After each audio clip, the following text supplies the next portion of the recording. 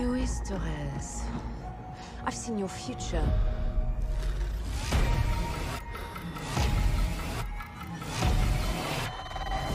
Global risk is scared of the weapon you will become.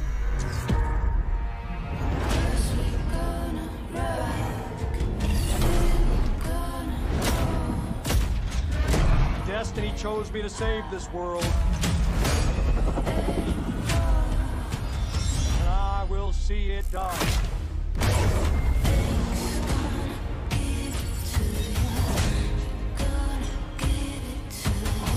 Blacklist, we make our own path.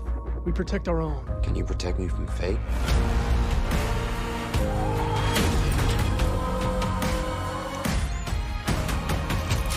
Seventeen seconds.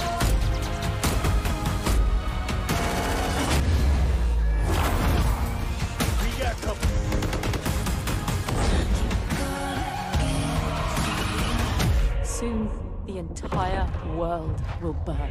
All because of him.